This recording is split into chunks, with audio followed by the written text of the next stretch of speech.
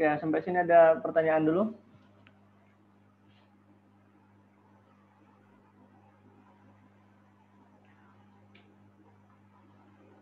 Tugasnya sudah submit belum? Submit semua belum? Coba saya cek.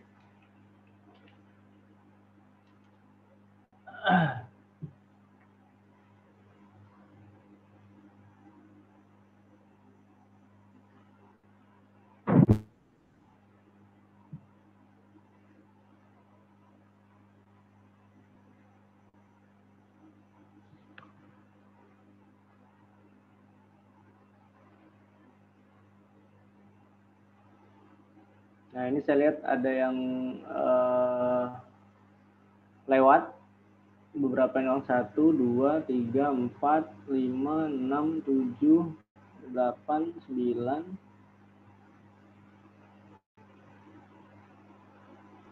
sepuluh, sebelas, dua belas, tiga belas, berapa orang ini yang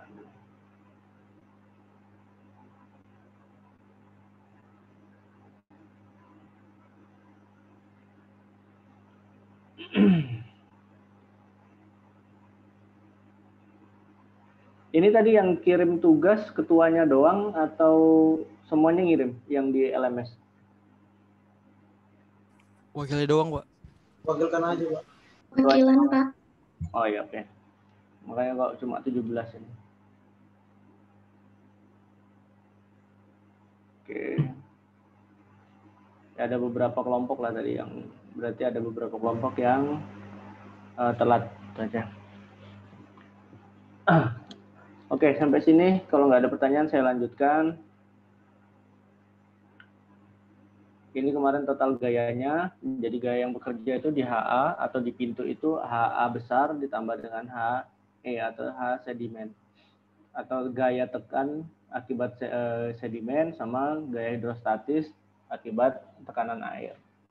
Jadi nanti digabung ditambah itu adalah total gayanya.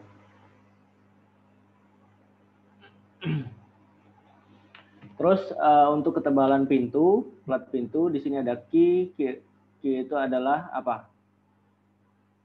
Tekanan air plus sedimen per satuan luas. Jadi dibagikan luas uh, lebar pintunya.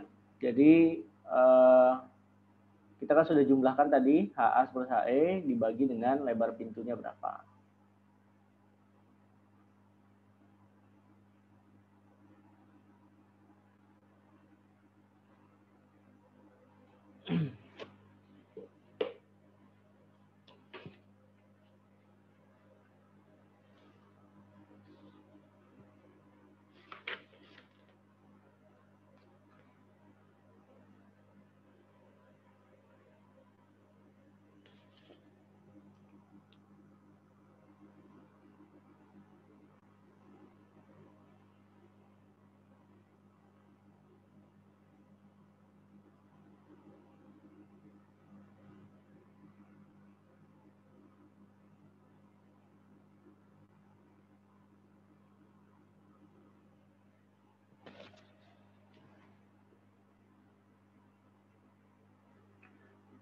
Nah, di sini nanti kita hitung momen maksimumnya. Jadi ada momen maksimum. Kalau masih ingat MACTEC itu, wah ini saya gimana gambar. Kalau ada MACTEC, eh, nanti sama seperti kalian menghitung eh, beban terpusat, eh bapak beban merata di eh, bentang, satu bentang jadi ada peletakan kan, peletakan jepit-jepit, terus ada beban merata, berarti kan dia di tengah. Jadi momen maksimumnya seperdelapan dikalikan Q, dikalikan lebar pintu pangkat 2. Nanti itu adalah ketemu momen maksimum. Lalu eh, momen maksimum diperoleh di sini ada tegangan izin, tegangan izin bajanya. Nanti ada di, eh, di tabel kita pakai baja BJ berapa, tegangan izinnya berapa. Nah, di situ ada momen dibagi dengan W, di mana W itu adalah apa kemarin? Kalau kita lihat di sini, oh sorry, hilang anunya nilai W-nya. Oh ini, sorry. Nah, W-nya itu adalah ini. Jadi di sini ada perumusan M dibagi dengan W, di mana W itu adalah weight-nya. W itu G, berat daun pintu ditambah 25% dikalikan G. Anggapannya 25% itu adalah eh, beban-beban misalnya kan di pintunya itu ada bautnya, ada uh, ada beberapa baut, ada penggantungnya dan segala macam. Nah, itu dianggap 25% dari berat total pintunya. Jadi kemarin pintunya kan sudah dimensi pintunya lebarnya berapa, tingginya berapa. Nah, itu nanti uh, berat beratnya itu berapa daun pintunya. Kalau berat jenis baja berapa?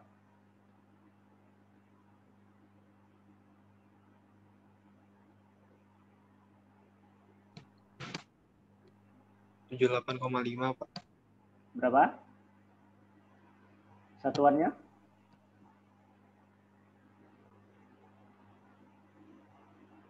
halo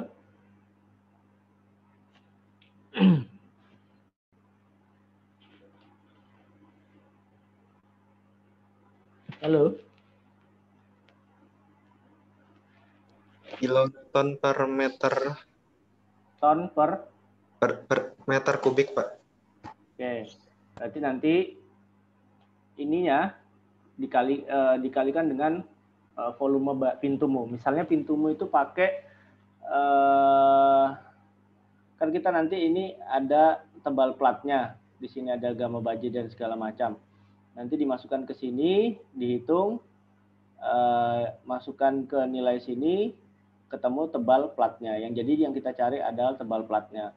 Di sini uh, tegangan izin, momen maksimum dibagikan dengan W, di situ momen maksimumnya seperenam B, uh, apa, lebar pintu dibagikan dengan tebal plat. Nah, diambil tebal platnya, itu ketemu tebal platmu berapa. Nah, nanti setelah tebal plat ketemu, dihitung W-nya. Karena ini nanti akan digunakan untuk menghitung diameter stang pintunya atau ini batang batang ininya. Eh, kursor saya kelihatan enggak ya kalau saya mainkan kursor di sini? Kelihatan ya? Tidak, Pak.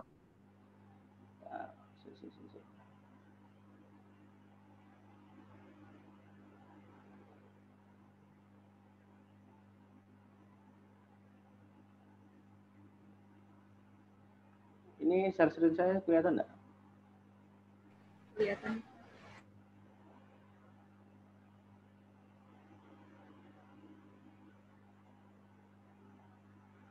Ini nanti yang kita hitung itu adalah diam, uh, diameter ini. Oke, okay. uh, eh, Sampai sini, jadi kita sudah dapat nilai tebal platnya. Jadi momen maksimum. Nanti kalau kita sudah ketemu tebal platnya untuk menghitung W, berarti kan di sini ada lebar pintu, dikalikan tinggi pintu, dikalikan tebalnya, tebalnya berapa, dikalikan gamma bajanya, atau berat jenis bajanya. Tadi 78 ton per meter kubik. Berarti nanti ini ketemu berat total pintumu itu berapa. Nah, itu yang kita cari Eh, itu yang akan digunakan untuk menghitung diameter stang. Gampang kan ini tinggal ngikutin rumusnya saja, yang ini tahapan-tahapannya. Jadi eh, ini sudah saya urutkan, maksudnya sudah saya atur sehingga kamu tinggal ngikutin proses-proses ini ketemu tebal platnya. Nah, di sini nah ada dua pada saat uh, kalau kita menghitung pintu baja, nanti ada pintu baja sama pintu kayu. Jadi pada saat kita menghitung pintu baja itu ada dua uh, apa namanya? Dua kondisi. Jadi ada dua kondisi. Yang pertama itu pada saat pintu dinaikkan. Jadi pada saat pintu dinaikkan itu kan berarti pintumu itu menggesek ke atas. Jadi ada friction yang nahan supaya pintumu ke atas otomatis kan kalau kita naikkan ke atas lebih berat. Nah, makanya W itu diarahkan ke positif, panahnya ke bawah. Karena apa? Bebanmu kan uh, ada beban dari pintunya. Tapi ketika diturunkan, Nah, W itu malah memudahkan, berat itu memudahkan kamu untuk menurunkan pintunya pada saat kamu narik gitu loh. Nah, uh, untuk perhitungan stang pintu, jadi nanti kita pakai dua, dua kondisi pada saat pintu dinaikkan sama pada saat pintu diturunkan. Nah, yang pertama tadi dihitung dulu W-nya. Kalau pada saat pintu dinaikkan, W-nya itu bernilai positif atau panahnya ke bawah. Terus di sini ada F sama dengan 0,4 itu friction coefficient. Nah, itu nanti diambil 0,4 F-nya. Sorry, ini F-nya harusnya mirip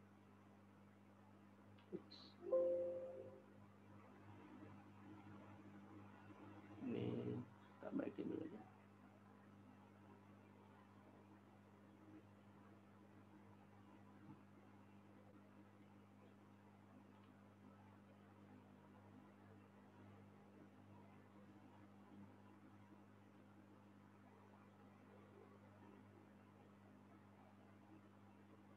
Oke. Nanti di situ ada nilai F-nya, F-nya 0,4 dikalikan HA plus HE, itu ketemu uh, friction force-nya. Nah, nanti STR, STR ini uh, diameter stang pintunya. Jadi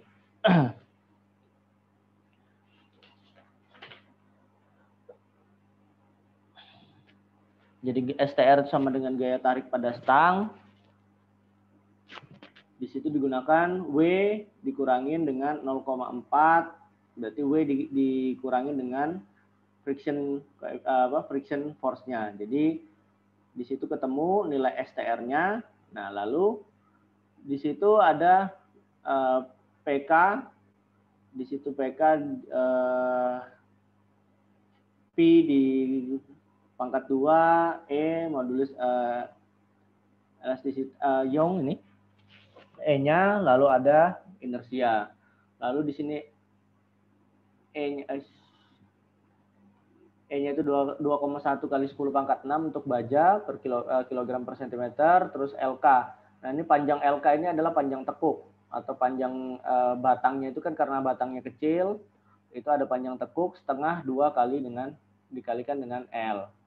Lalu inersianya seperempat seperti biasa, inersianya itu apa satu banding satu bagi 64 dikalikan dengan P dikalikan DD dengan pangkat eh, 4, lalu PK-nya Nah, nilai PK itu sama dengan STR. Jadi nanti pada saat kamu kan yang kita cari adalah nilai D. Yang kita cari D pangkat 4 ini yang kita akan keluarkan. Nah, nanti nilai PK ini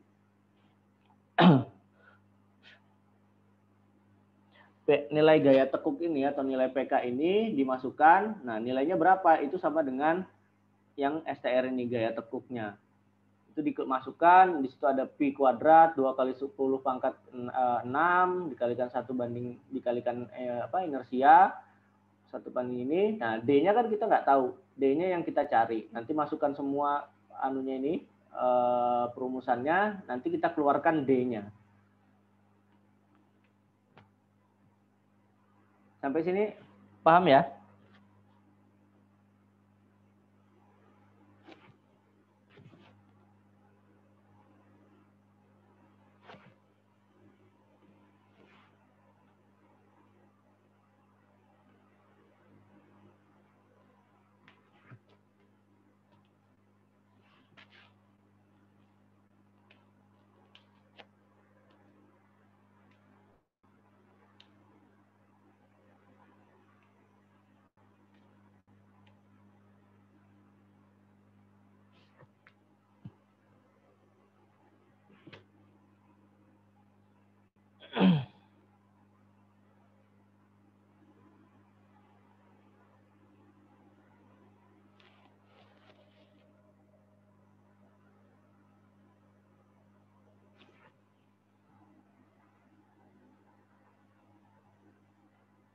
Ada yang mau ditanyakan?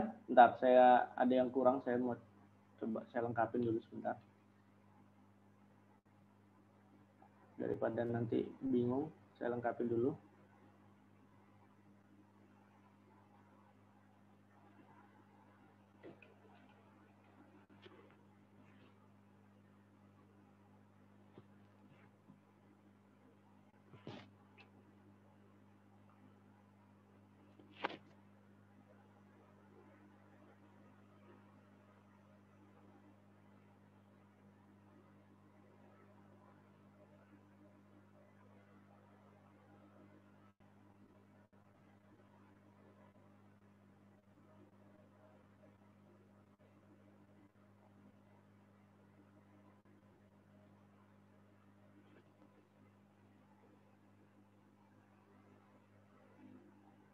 Astagfirullahaladzim.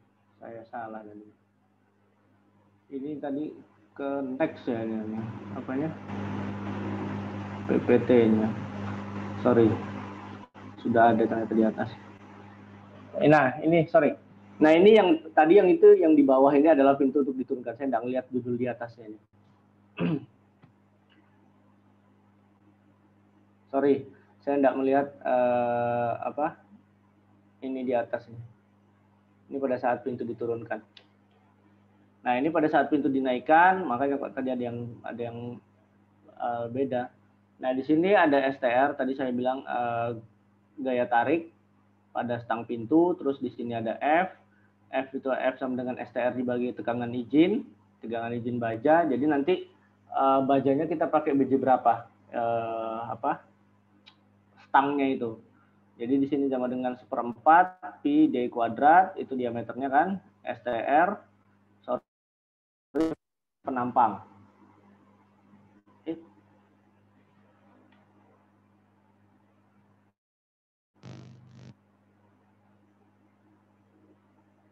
Ngeblank?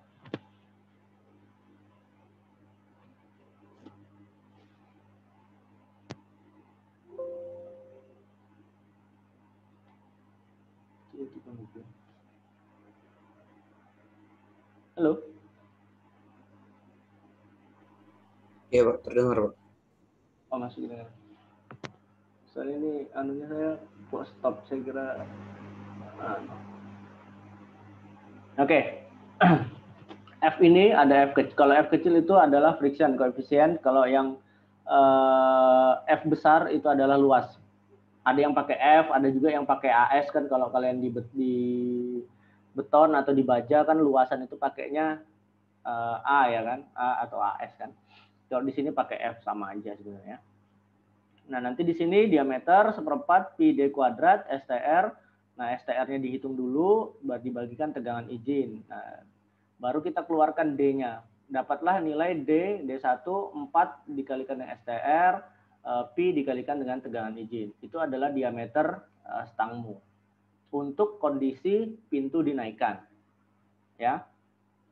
Jadi setiap kita menghitung pintu selalu akan menghitung dua kali pada saat pintu dinaikkan dan pada saat pintu diturunkan. Nah, ya untuk yang pintu diturunkan sama ini dihitung juga STR-nya berapa. Terus di sini ada karena diturunkan kan? Kenapa diturunkan? Kalau misalnya eh, misalnya gini contoh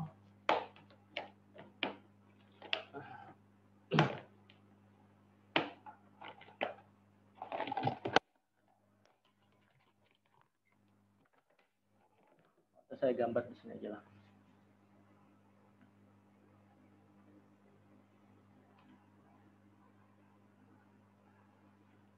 Nah, pada saat uh, ini kan pintu ya, pintu kelihatan enggak? Pintu ya, pintu, terus di sini ada stangnya. Nah, pada saat diturunkan seperti ini kan e, nekan dia. Makanya di situ ada e, gaya tekuk. Kalau kita lihat.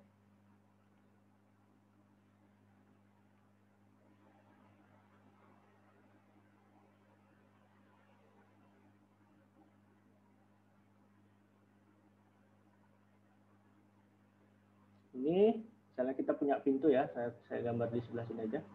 Kalau kita punya pintu kotak seperti ini ya, terus di sini kan ada stangnya. Nah, kalau pada saat ini diturunkan, diturunkan gini, nah ini kan bisa kan kita punya gaya gesek di sini. Di ganjal pintunya ini kan ada frictionnya.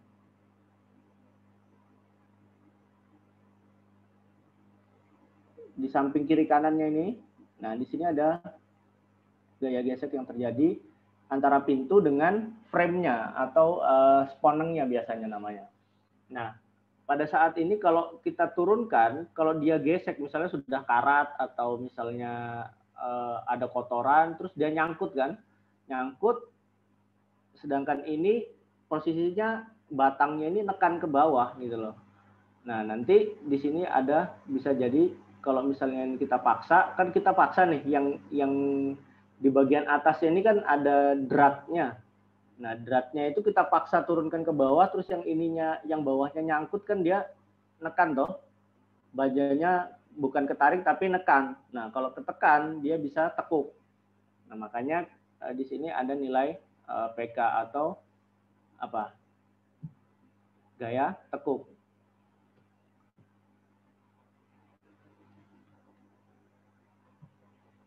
Gaya tekuk apa bahasa Inggrisnya? Iksan di beton.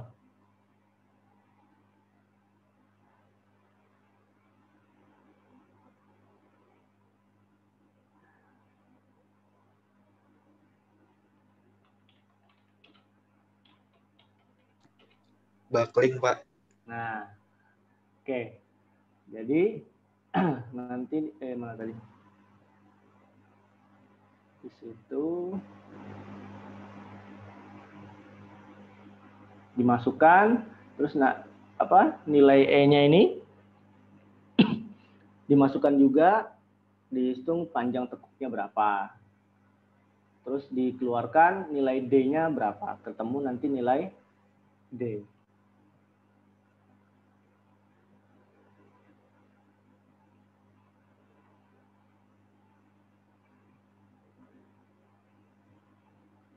Nah, di sini ada persyaratan kalau misalnya STR-nya itu nilai STR pada saat pintu diturunkan ya, nilai STR-nya itu bernilai negatif, maka untuk menghitung itu tinggal dikasih harga mutlak. Jadi di di di sini dikasih absolut.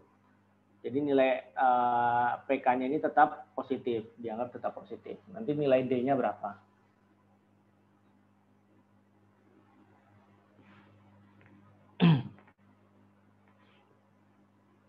Oke ya.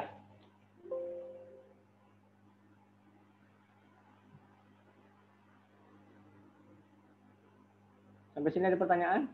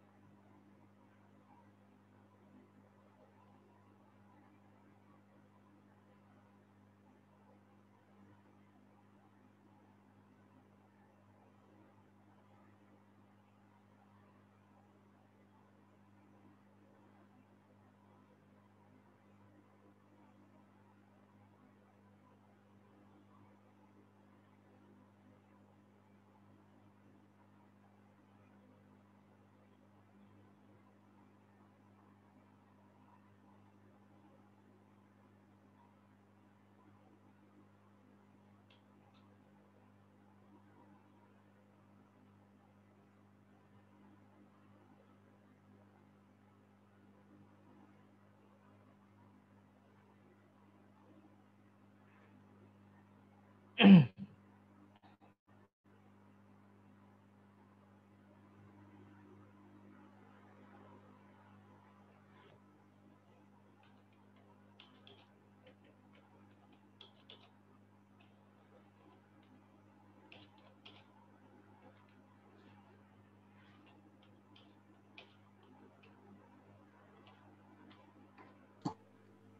mau nanya Pak. Ya, halo uh, ukuran panjang stang itu berapa Pak ya? Kemarin di pertemuan sebelumnya saya bilang antara 1,2 sampai apa antara 1 meter sampai 1,3. Dan biasanya di 1,3. Intinya dia posisinya eh, stangnya itu, ujung stangnya itu itu adalah oh sorry. Uh, begini. Saya kasih gambarnya aja kalau gitu ini mana? Oke nah ini. Sebentar saya sharing nah ini.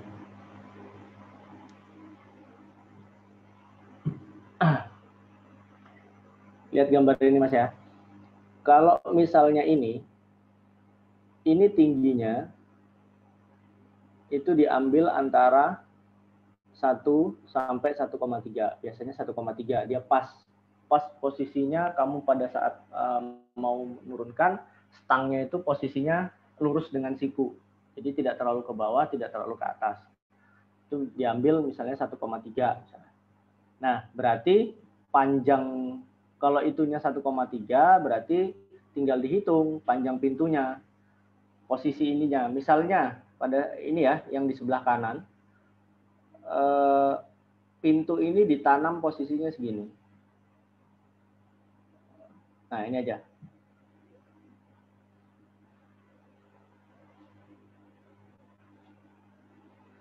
Oh, enggak bisa. Nah, pintu ini posisinya berarti kan ini kan cuma sedikit nih. Satu koma ini anggaplah kok keluar.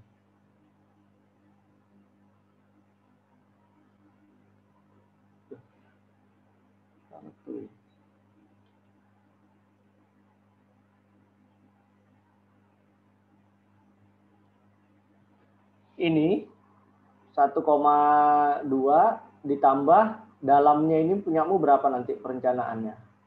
Ya. Jadi misalnya eh, itu kan tinggi saluran yang ini.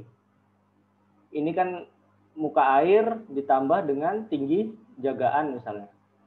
Jadi panjang stangnya itu dari pintu misalnya kan otomatis kalau dari pintu seperti ini kemarin saya bilang kalau dari muka air seperti ini diambil anggaplah 20 cm. Yang ini. Ini 20 cm. Terus 20 cm tinggi apa? Tinggi jagaanmu dikurangin elevasi di sini.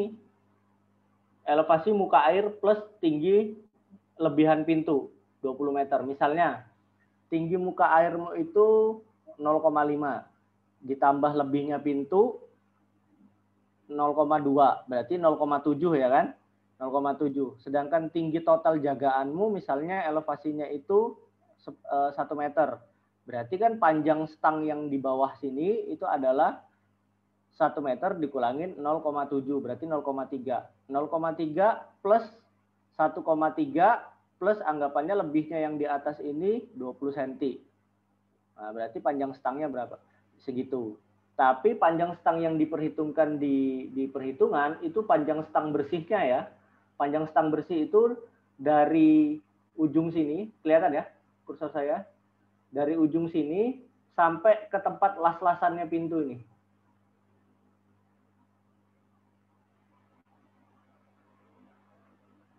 Paham?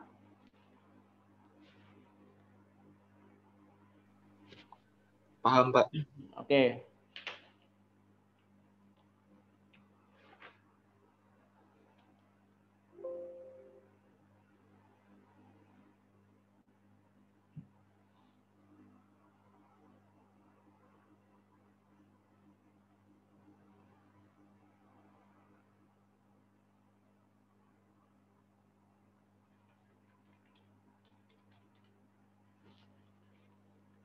嗯嗯。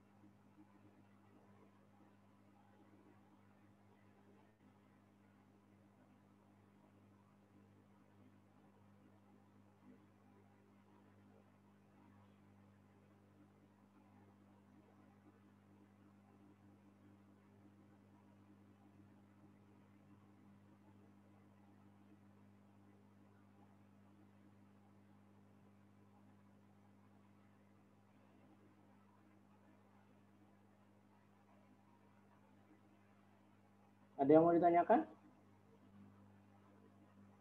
Tidak ada kayaknya ya. Sudah apa? Tidak terlalu sulit toh.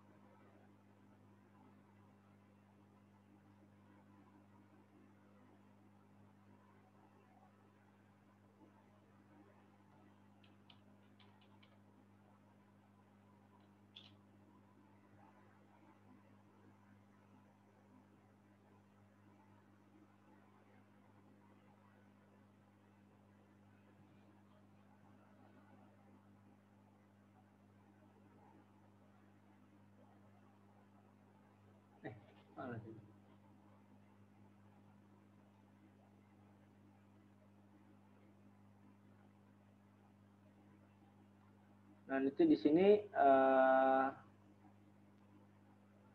diambil kan uh, apa? Kuat tariknya berapa, kita pakai uh, tegangan engine-nya berapa. Jadi misalnya di sini tegangan putusnya kita pakai misalnya uh, BJ34 340 MPa misalnya gitu.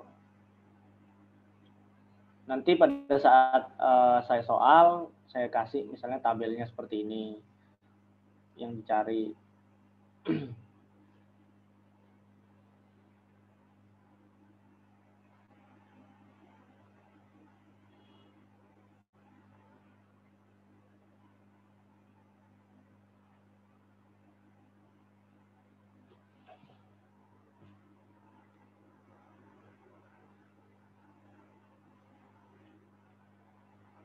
Ada yang ditanyakan dulu? Karena hari ini cuma sampai sini, nanti paling saya coba kenal-kenalkan dikit uh, alat ukur. Nah, nanti perhitungannya di minggu depan.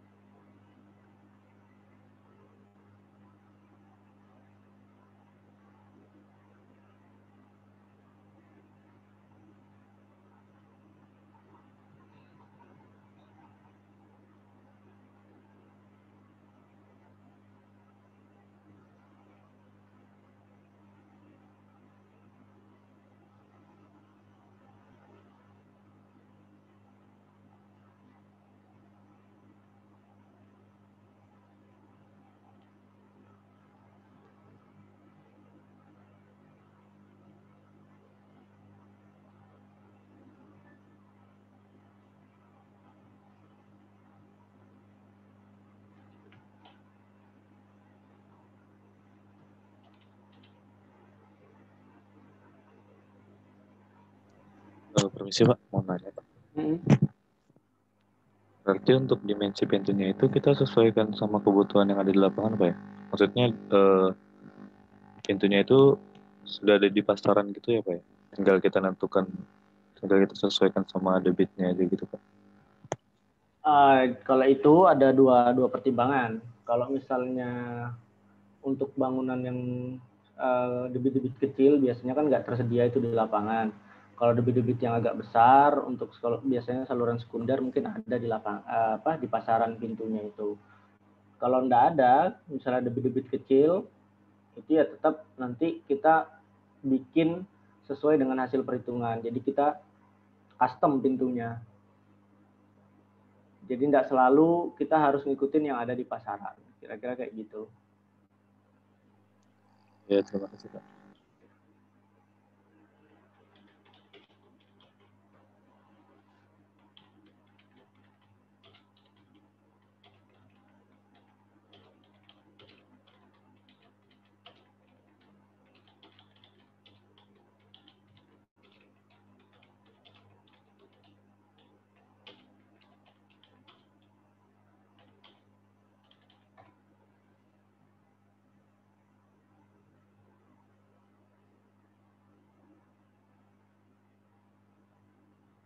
Ada lagi?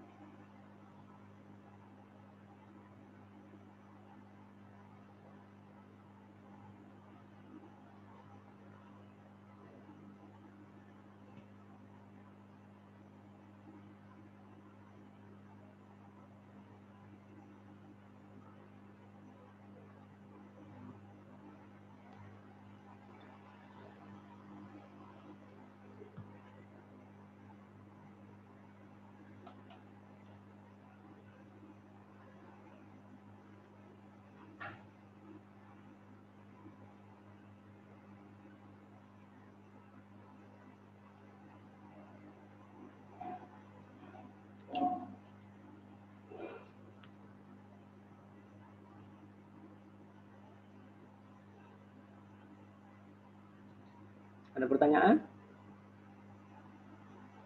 Saya kasih tabelnya dulu.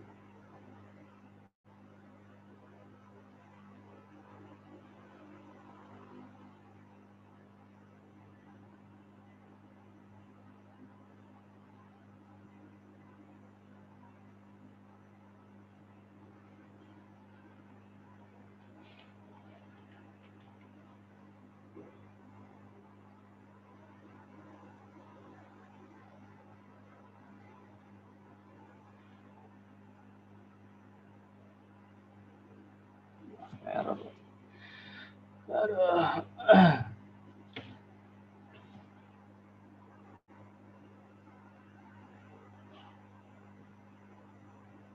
Untuk tugas besarnya sudah sampai mana? Ada yang sudah sampai bangunan ukur belum?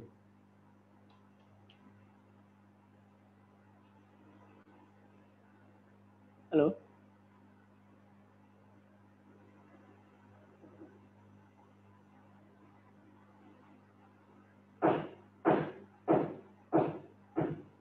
Halo?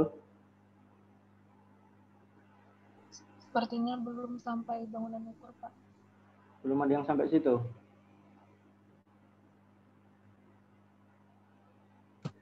Belum, Pak. Oke.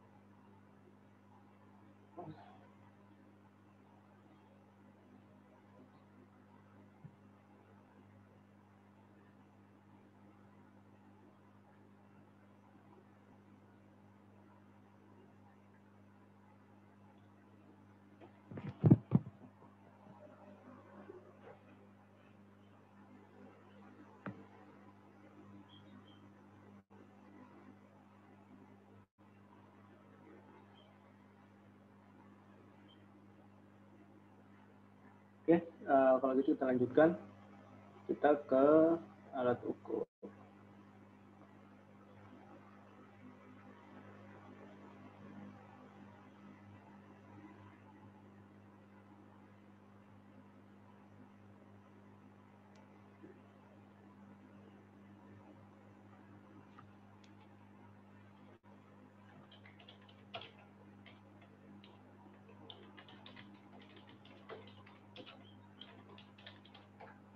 Saya langsung aja di Google carinya untuk melihatkan gambarnya.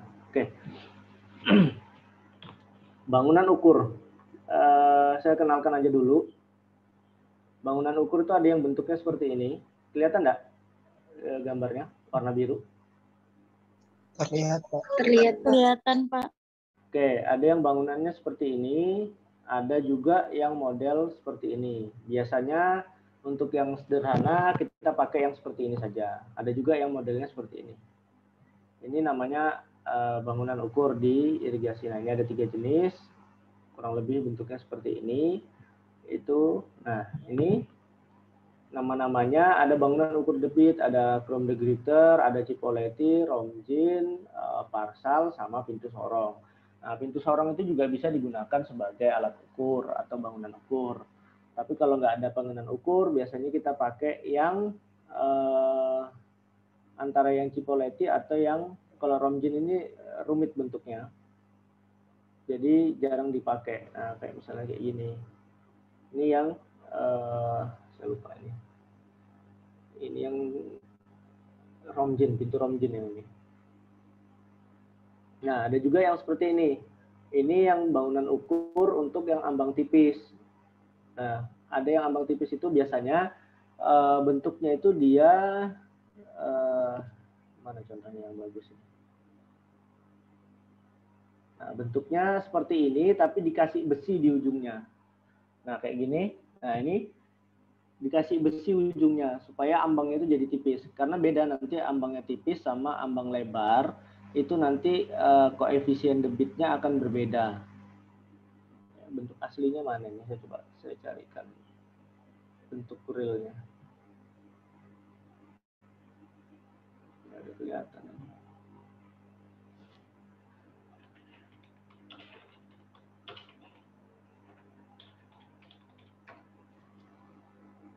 Hmm. Tidak ada gambarnya ini. Oh, ini dia. Nah, kalau yang ini kita pakai dremel namanya. Langsung saja. Nah ini. Eh, mana tadi? Nah, yang bentuknya kotak seperti ini itu namanya alat ukur dremel. Nah, ini biasanya posisinya itu diletakkan jadi posisi uh, box tersiermu dia posisinya itu setelah box tersiermu. Jadi digunakan. Fungsinya untuk apa? Untuk memastikan ini debit yang masuk ke sawahmu itu sesuai. Nanti di sininya ada biasanya tuh ada angka duga namanya. Angka duga yang ini kalau kita lihat di sini, nah ini ada biasanya eh, ketinggian air yang dilihat, nah itu di, di, ditaruh di situ.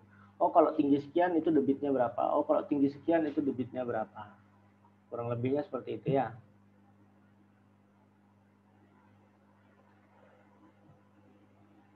Nah ini di sini ada yang ambang lebar itu ambang lebar, ada yang drempel, ada yang romjin, cipolletti dan segala macam. Terus uh, kalau an yang aliran bawah seperti ini, misalnya,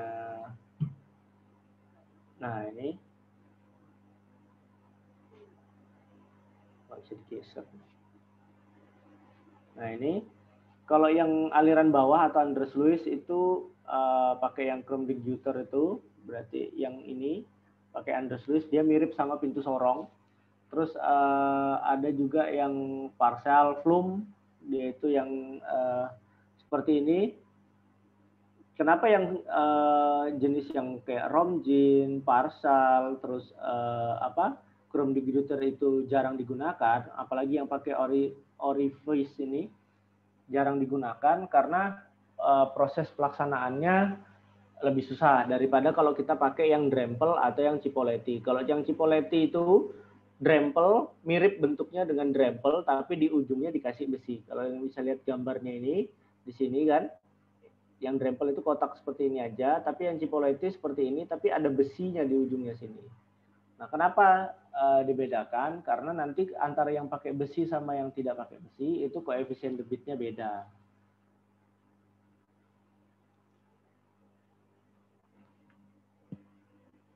Nanti kalian akan bicara banyak tentang koefisien debit itu di materi terakhir tentang bangunan bendung nanti di situ. Saya nggak nggak dapat gambar asli.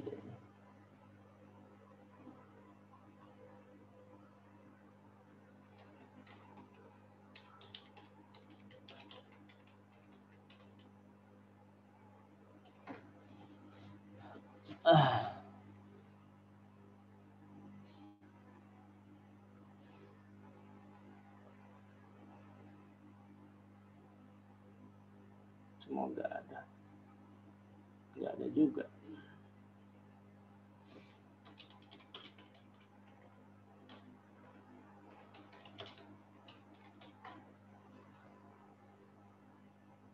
Ya, gambarnya cuma itu yang paling jelas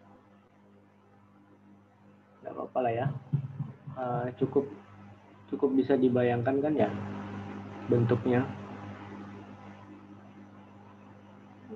Sederhana aja kok.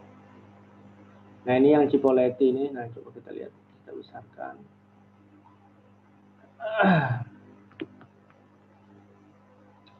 Tidak ada ini. Nah ini dia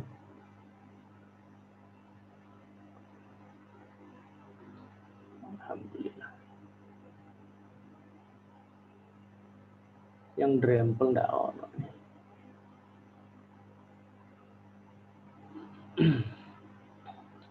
Oke. Nah, ini yang Cipoletti kurang lebih bentuknya seperti ini. Ada besinya dia. Nah, di sini. Nah, ini antara yang Cipoletti sama yang Thomson. Biasanya kalau yang Cipoletti itu bentuknya trapesium, kalau yang Thomson itu segitiga. Ya, perumusannya kurang lebih sama, hanya bentuknya uh, apa bentuknya saja yang beda.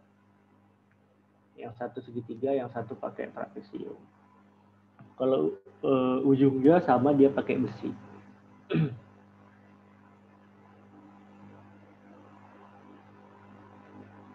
Oke, sampai sini ada yang mau ditanyakan. Untuk perhitungnya kita di, di minggu depan saja. Jadi kalian bisa tahu dulu bentuknya, alat ukurnya itu seperti apa, Terus eh, kemarin sama Bu Rosa itu bangunan persilangan persilangannya itu apa? Yang sudah dijelaskan. Talang, Pak. Baru talang.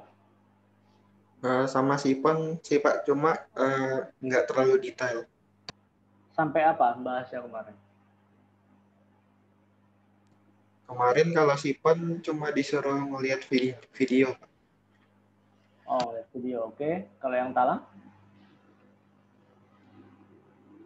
Ini kalau alat ukur ini sebentar aja, jadi nanti langsung masuk ke bangunan persilangan. Sipon ya kemarin ya? Oke. Okay. Nah.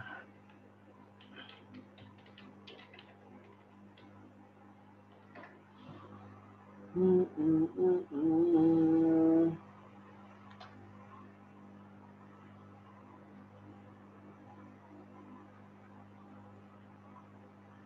Tidak ada contoh yang bagus ini.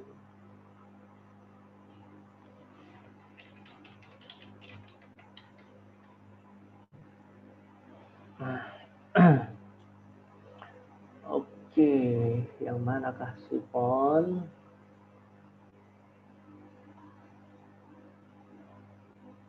Aduh, gambarnya cuma begini dong.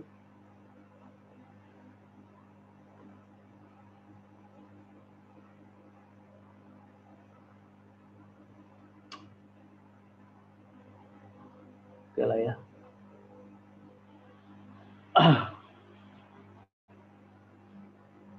Oke, saya kasih penjelasan sedikit aja. Ya, ini sipon sama talang ya kemarin ya. Talang, belum.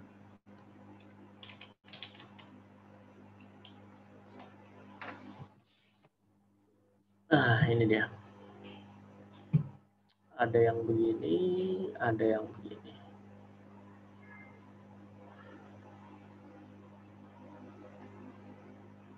Bangun sifonnya dari mana?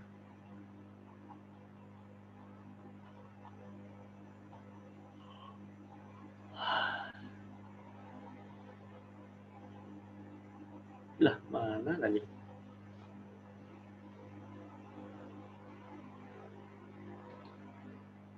Nah, oke. Okay. Nah, kalau kita kita masuk ke sifon aja dulu. Tadi kan alat ukur sekilas sudah, nanti perhitungan detailnya di minggu depan. Di minggu depannya lagi, eh, apa di pertemuan berikutnya lagi kita akan bahas uh, bangunan persilangan. Karena di sini ini nah, sifon ini adalah bangunan persilangan yang mana airnya dilewatkan di bawah sungai. Jadi kalau ada saluran irigasi ketemu sungai, itu nanti misalnya saling bersilangan seperti ini, ini saluran irigasinya misalnya gini eh, mana ya nah ini terus ada ada saluran irigasi yang ke sana misalnya gini kan ada saluran irigasi yang ke sini kalau misalnya itu eh, permukaan airnya itu tidak mencapai batas minimum untuk membuat talang, maka mau tidak mau kalian harus menggunakan sipon biasanya. Karena apa? Kalau misalnya kita bikin talang, uh, kayak contohnya ini. Kalau kita bikin talang, terus permukaan airnya itu mepet sama dasar talangmu, nah itu tidak bagus. Karena apa? Itu nanti kalau misalnya ada hanyutan-hanyutan, uh, misalnya kayak batang pohon, sampah dan segala macam, itu nanti sampahnya akan nyangkut di talangmu. Nah, jadi kita punya batas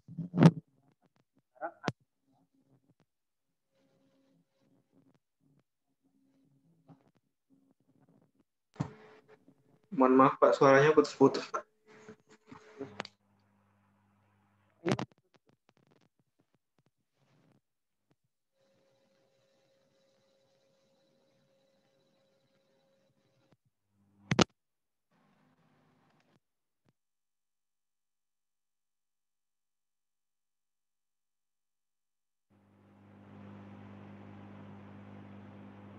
Halo? Ya Pak, terdengar.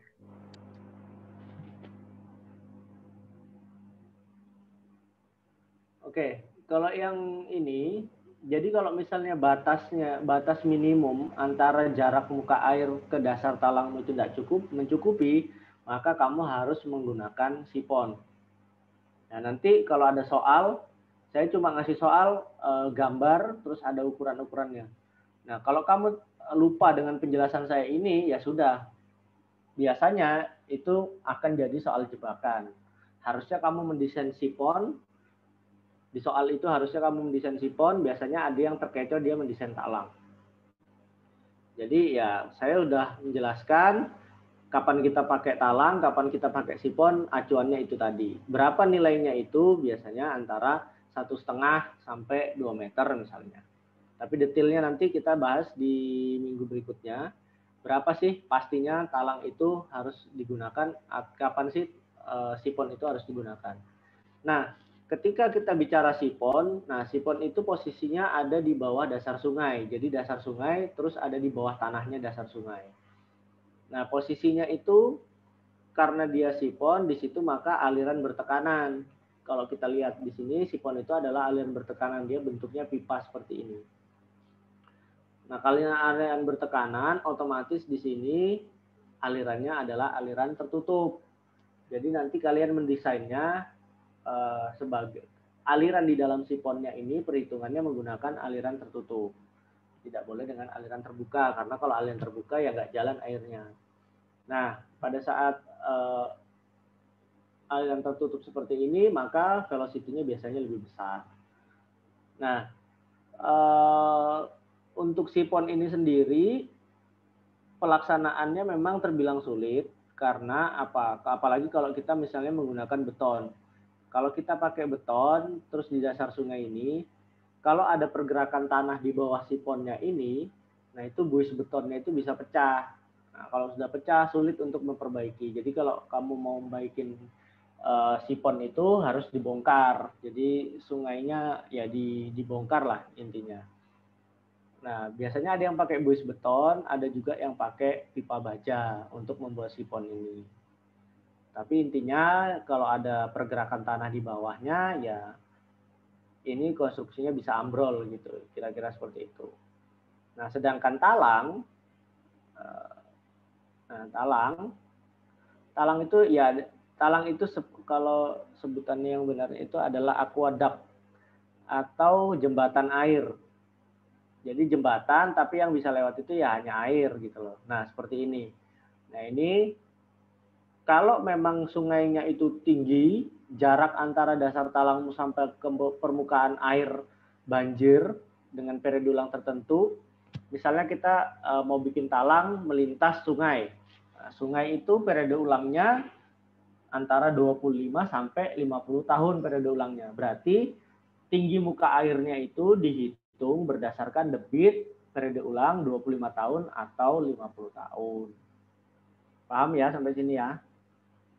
Nah, kalau misalnya kita pakai misalnya kita sungai ambillah uh, periode ulang 25 tahun. Ketika kita ngitung debit dengan apa dengan periode ulang 25 tahun, ternyata muka airnya itu tidak mencukupi dengan batas minimum pembuatan talang, ya mau tidak mau kita harus menggunakan sipon. Jadi harus disesuaikan uh, debitnya, bukan asal pokoknya ada sungai kayak gini misalnya, contohnya di gambar ini. Halo, suara saya masih kedengaran kan ya? Masih Pak. Dengar Pak. Dengar Pak.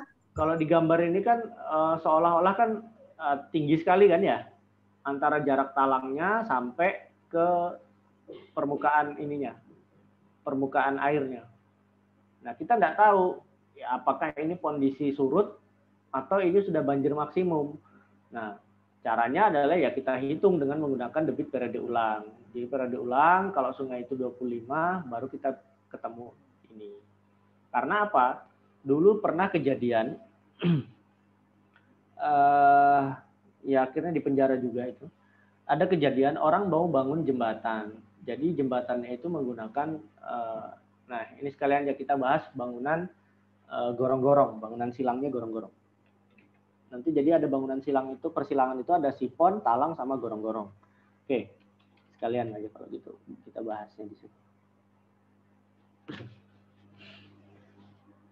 Gorong-gorong beton.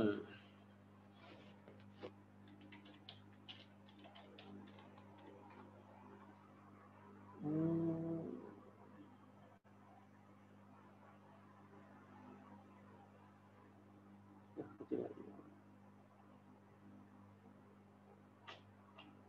Nah, ini. Oke. Semoga kelihatan. Kelihatan ya gambarnya ya. Nah, ada kejadian pada saat uh, nah, tatar dulu. Kalau kita mau buka buat gorong-gorong, kalau kita per, uh, saluran irigasi kita ketemu perlintasannya itu adalah jalan, maka kita gunakan konstruksi gorong-gorong. Kalau itu sudah sudah tidak perlu ditanyakan lagi ya, maksudnya tidak perlu dibahas lebih dalam. Ya kalau kita ngelewat jalan pasti pakainya gorong-gorong saja. Atau talang kalau misalnya jalanannya lebih rendah bisa juga kayak yang tadi itu. Nah, uh, saya bicara ada sedikit kejadian. Jadi ada uh, konsultan lah pada waktu itu konsultan itu dapat proyek untuk membangun jembatan di sebuah sungai gitu entah gimana caranya dia kok mengambil kesimpulan uh, dia menggunakan box culvert seperti ini. Jadi jembatannya itu menggunakan box culvert yang disusun seperti ini, yang digambar ini. Panjang tapi ini kan cuma empat, itu lebih panjang karena sungainya besar. Nah, pada saat uh, saya tidak tahu antara dia paham enggak pertimbangan pada saat perancangan jembatan atau enggak gitu kan kapan kita pakai jembatan, kapan kita pakai gorong-gorong saja itu saya tidak ngerti apakah konsultan waktu itu paham atau enggak. Intinya apa eh, singkat cerita dia mengambil keputusan membangun eh, gorong-gorong di sungai yang besar gitu. Jadi ada box culvert ini disusun berapa eh, berapa buah gitu sampai 10 lebih gitu. Nah, harapan dia kan kalau kita menghitungnya pakai gorong-gorong ini kan memang perhitungannya lebih mudah daripada kita harus menghitung dengan konstruksi jembatan gitu. Nah, yang jadi masalah adalah dia menentukan ketinggian jembatan itu uh, ditaruh di uh, posisinya di di jadi gorong-gorongnya ini hanya diletakkan di dasar sungai. Jadi di sungainya itu besar, terus gorong-gorongnya itu nggak terlalu tinggi gitu kan, hanya diletakkan saja. Nah, pada saat uh, jadi jembatannya itu turun ke sungai, jadi tidak tidak rata seperti ini, tapi dia turun ke sungai seperti ini. Uh, gimana saya jelaskan ini? Nah, ketika turun ke sungai itu, Nah, ini kan lucu. Bagaimana mungkin dia bikin jembatan tapi elevasi lantai kendaraannya itu ada di bawah dari tanggul sungai. Itu sudah salah salah fatal gitu loh. Nah, jadi singkat cerita pada saat selesai peresmian, jembatan itu baru diresmikan, malamnya hujan, besoknya jembatan itu udah hilang. Jadi uh, hanyutlah jembatan ini. Nah, kalau karena jembatan ini hanyut, nah itu jadi masalah kan, berarti gagal konstruksi. Nah, yang lebih parahnya itu eh, ketika ditanya kenapa konsepnya itu kok box culvertnya itu turun ke sungai, sedangkan ini sungai besar, yang mana pada kalau kalau kita menghitung debitnya itu menggunakan periode ulang antara 50 sampai 100 karena sungai besar.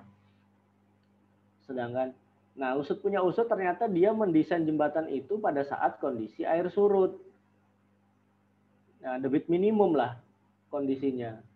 Jadi asumsinya menggunakan debit minimum. Terus dia membuat uh, jembatan itu bisa untuk tenggelam pada saat debit tinggi gitu. Ya, ini sudah tidak masuk akal. Dia merencanakan seperti itu sudah nggak masuk akal. Jadi jembatan itu akan nggak bisa dilewatin karena terendam air kalau debit sungainya itu tinggi. Nah, di kiri kanannya, di bagian uh, kiri kanannya jembatan itu dikasih pagar lah istilahnya. Jadi pada saat debit tinggi, pagarnya ditutup jadi tidak ada yang bisa lewat gitu. Nah, ini sudah sangat fatal sekali. Nah, akhirnya karena jembatan itu hilang, hanyut gitu kan. Akhirnya ya diusut. Ternyata kesalahan pada saat perencanaan. Ya otomatis ya, perencanaannya masuk penjara karena itu eh, apa? Bukan force major tapi gagal desain. Nah, itu sekedar cerita saja. Jadi Eh, ketika kalian mendapatkan pekerjaan terus eh, diharuskan untuk merancang gitu kan jangan sampai salah mengambil asumsi perencanaan atau salah mengambil keputusan pada saat perencanaan. Kalian kalau ingat nggak tahu ya setelah lulus nanti kalian nanti kerjanya ada yang mungkin eh, tidak lagi di bidang teknik sipil atau ada yang di bank atau ada di kantor lain gitu kan. Tapi untuk teman-teman yang setelah lulus dan masih bergelut di dunia teknik sipil, baik itu di kontraktor atau di konsultan, yang perlu diperhatikan adalah eh, kewaspadaan dan kelitian pada saat kerja. Kalau kamu di konsultan, ya ketelitianmu pada saat merancang. Kalau di kontraktor, ya pada saat pelaksanaan. Karena apa? Ketika terjadi masalah, entah itu kecelakaan kerja atau pada saat uh, selesai dibangun terus ambrol gitu bangunannya, itu sudah pasti kalian akan dicari. Dicari sama siapa? Dicari sama polisi. Itu sudah pasti. Kalau kasusnya kayak tadi, kalau gagal desain, itu konsultannya yang akan dipenjara nanti. Kalau misalnya desain sudah oke, okay, misalnya di forensik kan, desain sudah oke, okay, disimulasikan dan segala macam, desain sudah oke, okay, ternyata masih runtuh, dicek pada pelaksanaannya. Pelaksanaannya sudah sesuai tidak sama desain yang diberikan. Kalau nggak sesuai, ya sudah kontraktornya akan masuk penjara. Terus lagi perencanaan oke, okay, pelaksanaan oke, okay. maintenance. Nah ini kalau kita bicara maintenance itu kejadian di jembatan Kukar. Itu perencanaan oke, okay, pelaksanaan oke, okay, runtuh. Ternyata apa? Kesalahan pada proses maintenance. Ya sudah, kontraktor pem, kontraktor pemeliharaan atau kontraktor maintenance-nya yang dipenjara. Jadi kamu itu di sipil kalau masih bergelut di dunia sipil itu sudah kalau dulu dosen saya bilang itu separuh kaki kita itu sudah di neraka, separuh badannya sudah di di penjara gitu lah istilahnya. Karena ya sipil kan beresiko tinggi. Beresiko tingginya apa? Kalau kesalahan ya orang bisa mati, kita bisa dipenjara gitu loh. Nah ini yang kalau kalian lihat yang lagi was-was itu adalah kasus yang di Samarinda, jembatan Mahkota 2. Nah, itu jembatan Mahkota 2 udah ketar-ketir, ya kan? Udah retak ini. Nah, itu sudah kontraktornya, konsultannya, ownernya itu eh, sudah deg-degan semua ini. Kalau sempat terjadi apa-apa, wah selesai sudah. Ya tinggal dilihat saja, itu gagal desain atau gagal pelaksanaan atau apa? Kalau owner biasanya kenanya itu kamu eh, markup spek atau enggak. Biasanya Pak Andika yang cerita kayak gitu tuh. Kalau kontraktor biasanya kenanya itu antara kesalahan metode pelaksanaan atau eh, nurunkan spek. Nurunkan spek paham ya maksudnya kalau pulangannya harusnya 12, kamu jadiin 10. Betonnya harusnya 40 MPa, kamu bikin 20 MPa gitu kan. Itu nanti kena semua gitu.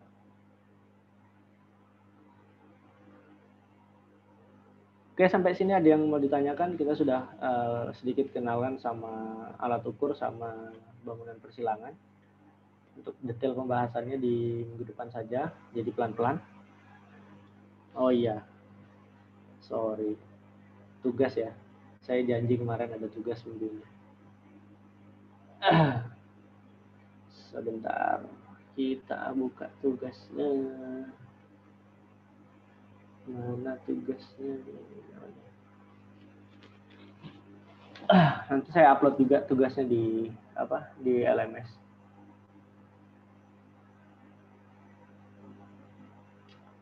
oke. Mana ini? Iya Ups, masih loading. Tugas-tugas. Sudah kelihatan tugasnya sama kayak kemarin, enggak beda. Debitnya mungkin debitnya aja yang beda-beda ini. Untuk debitnya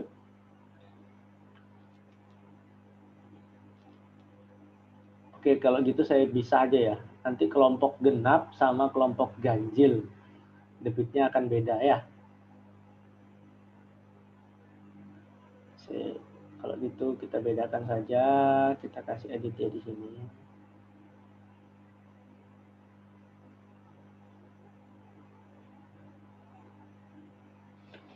Untuk untuk kelompok genap. Q satunya itu 0,2 beda dikit aja. Q 2 nya 0,4 Q 3 nya 0,6 Dah, ini aja ya. Nanti uh, nanti saya perbaiki dulu. Nanti saya upload di LMS. Nah, rencanakan uh, pintu sorong. Berarti kalau saya minta pintu sorong, berarti kalau soalnya seperti ini, tahapan perencanaannya apa? Itu kan uh, perencanaan meliputi dimensi pintu, tebal plat pintu, diameter stang pintu, dan gambar rencana. Tapi sebelum menuju ke sana ada perhitungan sebelumnya. Di sini kan ada seperti ini ya. Seperti biasa, tahapannya adalah hitung dulu dimensi saluran di setiap cabang. Cabang Q1, Q2, Q3, dan Q0 semuanya dihitung. Hitung e, bukaan pintunya, berarti box tersiernya lah, bangunan baginya dihitung. Ketemu kan dimensi bolongannya. dimensi pintunya. Setelah dimensi pintunya baru ke tebal plat, diameter pintu. Intinya semuanya harus mendesain saluran dulu. Nah, kerjakan sesuai kelompok. Kelompoknya sama seperti yang sebelumnya, jadi nggak usah ganti-ganti lagi biar enak saya e, ngoreksinya. Tidak perlu diganti. Namanya juga tadi ada yang nanya kan, saya nggak tahu tadi siapa yang nanya namanya itu. Pak, nama kelompoknya atau namanya apa? Ya terserah. Namanya mau kasih Avenger kah? Mau dikasih apa? Uh, Marvel atau mau dikasih DC ya, mau dikasih Incredible apa atau Suicide Squad juga boleh, terserah lah. Pokoknya namanya, tapi namanya jangan ganti ya, maksudnya uh, nanti ada tugas anu lagi, namanya tetap sama. Jadi anak saya, oh ini si kelompoknya ini, oh ini si kelompoknya ini. Terserah, mau avatar gitu, pengendali air atau apa terserah lah kelompoknya. Nah, deadline-nya itu saya kasih tidak di minggu depan karena kita di minggu depan itu lebaran, ya kan? Saya kasih jangka waktu dua minggu untuk mengerjakan. Di tanggal 18 Mei baru dikumpulkan tugasnya. Minggu depan kan kita lebaran, tapi kalau mengumpulkan minggu depan, wah saya apresiasi. Habis sholat id ngerjakan tugasnya. Oke, uh, nanti submit seperti biasa di LMS sama di uh, Google Form untuk backup kira-kira gitu. Nah, nanti juga eh, saya kasih eh, template-nya, jadi kalian jadi tidak belang-belang gitu loh. Kadang saya eh, bingung, ada yang kadang tidak nulis nama, ya kan? Di, di lembar jawabnya itu sering itu semester kemarin ngumpulkan lembar jawaban tidak ada namanya. Waduh ini siapa ini saya bilang ya saya kasih nol aja karena nggak ada namanya kan. Nanti template-nya akan saya kasih juga kurang lebih ya mungkin bentuknya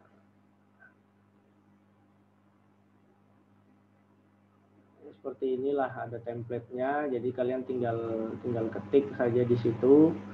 Nah, nanti suatu ketika saya akan kasih tugas individu Nah, kalau saya kasih tugas individu, biasanya saya akan minta untuk ditulis tangan. Nah, kalau ditulis tangan, nanti eh, saya sudah kasih, sudah bikinkan template seperti ini. Nanti ini kalian tinggal print saja, tinggal print, terus eh, ya, kamu isi tulis tangan gitu, isi di sinilah, di lembar jawab ini. Jadi saya sudah kasih template-nya. Jadi saya enggak nggak belang-belang lagi ada yang pakai kertas biasa ada yang pakai kertas garis-garis dan ada yang nggak ditulis ini tugas keberapa jadi nanti di, dikasih keterangan ini tugas keberapa gitu kan.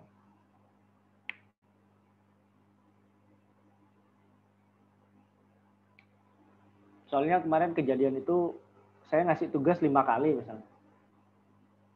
Karena ada yang nggak nulis tugasnya tugas berapa tugas berapa. Akhirnya ya ada yang hilang nilainya dari kalian.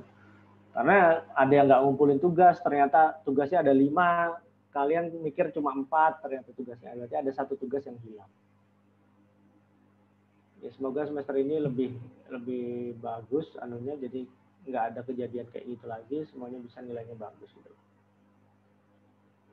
Oke itu aja. Nanti saya upload semua ke LMS silahkan nanti dikerjakan tugasnya. Untuk yang tugas ini tanggalnya di tanggal 18 deadline-nya.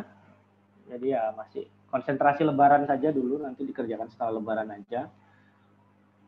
Yang penting dikerjain. Oke, sampai sini ada pertanyaan? Coba open cam dulu supaya bisa kelihatan orangnya. Nanti videonya dicek. Bukan saya yang ngecek. Kalau saya sih enggak masalah ya, enggak peduli. Kalian mau hadir kuliah mau enggak hadir kuliah saya enggak enggak peduli gitu loh untuk absen kalau misalnya kalian yakin enggak usah datang kuliah langsung ikut UAS nanti terus UAS nilainya 100 ya tetap saya luluskan. Saya enggak terlalu begitu masalah dengan dengan absen.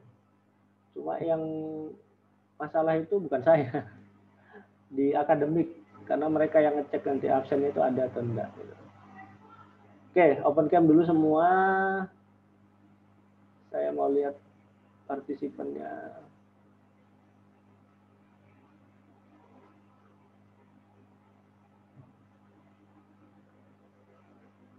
ini kok page-nya nggak bisa anu ya? Nggak bisa digeser ya? Kok yang muncul cuma ini aja?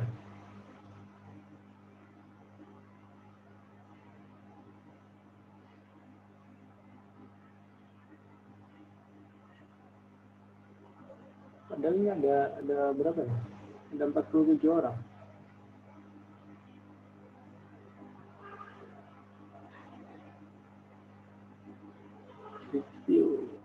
Ya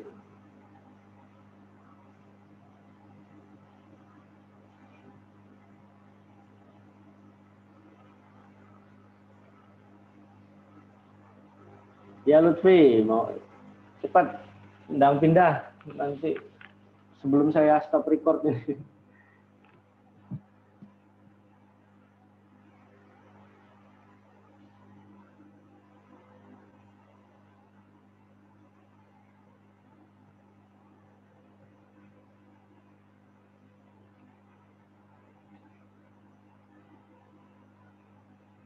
Ini kalian semester berapa ya?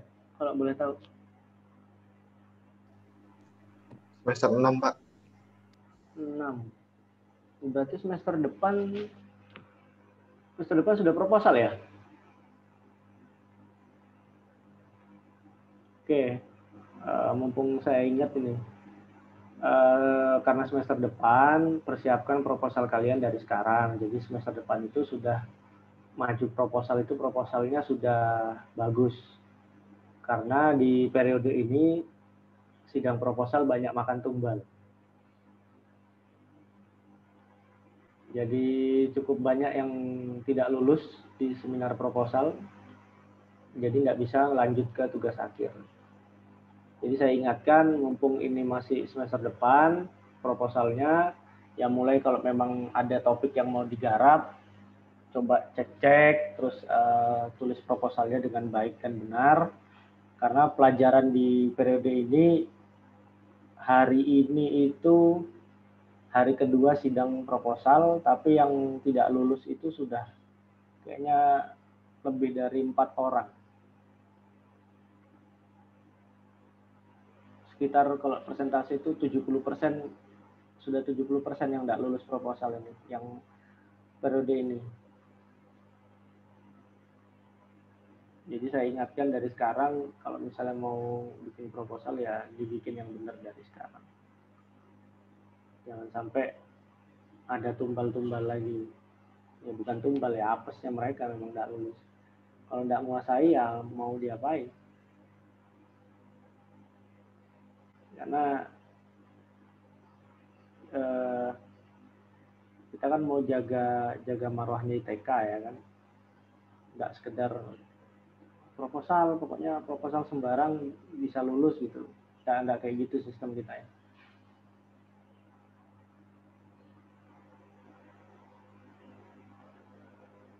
Karena ini kalian kan sudah angkatan keberapa nih kalian angkatan berapa tuh 2018, Pak. nah, 2018 sudah tiga tahun kan? Kalau yang 2000 2000 sebelumnya masih kita masih ada kurang lebih. Tapi kalau sudah ini udah kayaknya umur kita kan sudah lima tahun, ya sudah.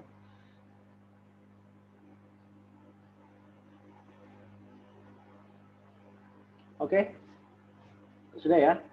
Saya stop recording, sudah open cam semua. Oke, kalau gitu perkuliahan ini saya cukupkan untuk hari ini. Kurang lebihnya saya mohon maaf. Tugasnya silahkan dikerjakan, tapi ya minggu depan nggak apa-apa uh, konsentrasi untuk lebaran dulu aja. Yang pulang ya pulang. Yang nggak bisa pulang ya meratapi nasib di kosan kan ya. Karena sudah diblok semua hari ini kan sudah di portal semua itu jalanannya. Kalau yang terkurung di kosan ya selamat menikmati lebaran di kosan sekali-sekali. Oke itu aja dari saya. Kurang lebihnya saya mohon maaf. Wassalamualaikum warahmatullahi wabarakatuh. Silahkan uh, meninggalkan room. Dan jangan lupa absen di dua tempat di LMS sama di Google Form. Ya, silakan.